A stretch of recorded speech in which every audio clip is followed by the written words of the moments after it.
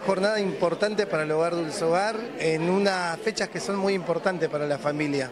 Sí, la verdad que bueno, cuando lo charlamos con el grupo de psicólogos sociales del hogar, eh, enfocamos, nos enfocamos en eso, ¿no? en la época, en lo que realmente se necesita en este tiempo, ¿no? que es un poco de tranquilidad, un poco de amor, y bueno, y después todo lo, que los chicos fueron a hablar es la actualidad, es la actualidad de lo que hoy nos pasa, nos pasa, bueno, a toda la familia me parece, ¿no? Tienes un equipo impecable que trabaja, fundamentalmente que trabaja y que ayuda a la gente, porque lo que recién decíamos no es solamente el plato de comida, vení, dormís, te levantás a la mañana, sino esta contención que se necesita a diario.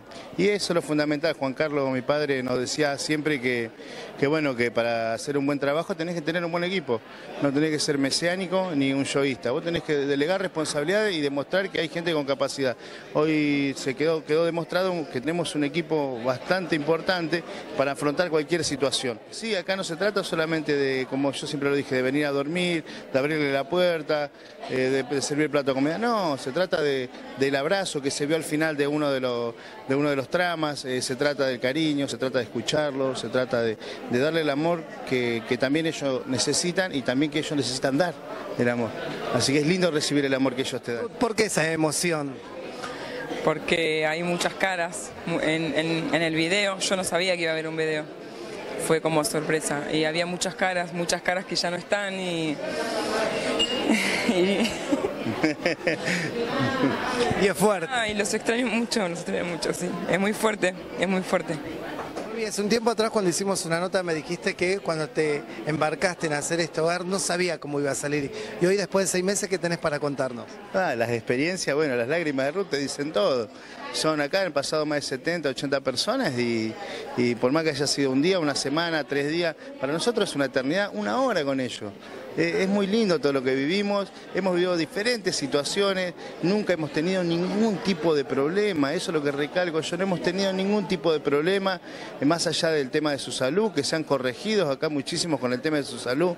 Eh, después ver, bueno, parejas que se han, ido, que están viviendo juntos, está embarazada una de las chicas que somos nosotros los, testigos de, de, que se comprometieron adelante de nosotros, tenemos otro de los chicos que vinieron hace poco que se están por casar el 19 de enero.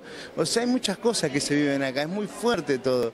Eh, más allá de estos hechos lindos así de la vida, hacer un trámite, como tener un documento, valorar esas cosas, insertarse de nuevo. Un lindo recibimiento dentro del Consejo Deliberante con, con todos los concejales, con todos los concejales, no voy a hacer distinción de ninguno, sino con todos, más allá de que, de que por una cuestión lógica yo pertenezco al, bloque de, de Mario Ishi, ¿no? digamos de Mario Ishi nuestro intendente que nos dio la oportunidad de representarlo. Tengo buena relación con todos los concejales y la verdad que me parece que, que lo único que se fue a hablar estos días fue de progreso de Josepa. Eh, lo veo con muchas ganas, el Consejo con muchas ganas y sí, algo, algo nuevo algo nuevo que quería experimentar. Bien, ¿y cómo pensás encarar el año 2018 dentro ya del recinto? No, si yo a veces, muchas veces por ahí con los compañeros recalcamos, eh, nunca fuimos nada, o en el sentido de nunca pedimos un cargo en cuanto al legislativo, nunca pedimos nada, y siempre estuvimos. Así que hoy que tenemos un cargo que representamos parte del pueblo de José Cepaz, me parece que mucho más grande la responsabilidad.